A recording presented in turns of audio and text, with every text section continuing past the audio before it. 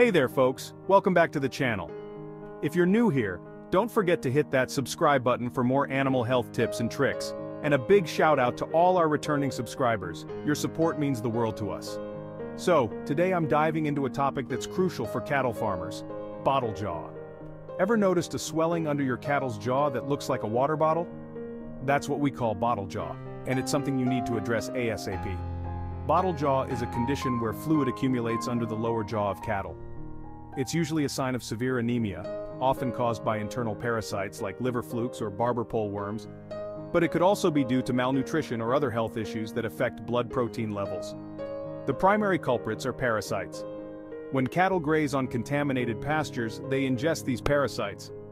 These parasites then damage the gut lining, causing blood loss and leading to anemia.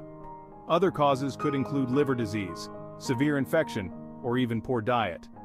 Now what should you look out for?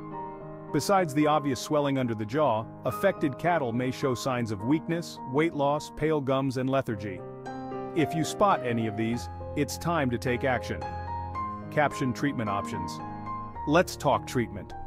First things first, you need to deworm your cattle. Consult your vet for the right deworming schedule and medications.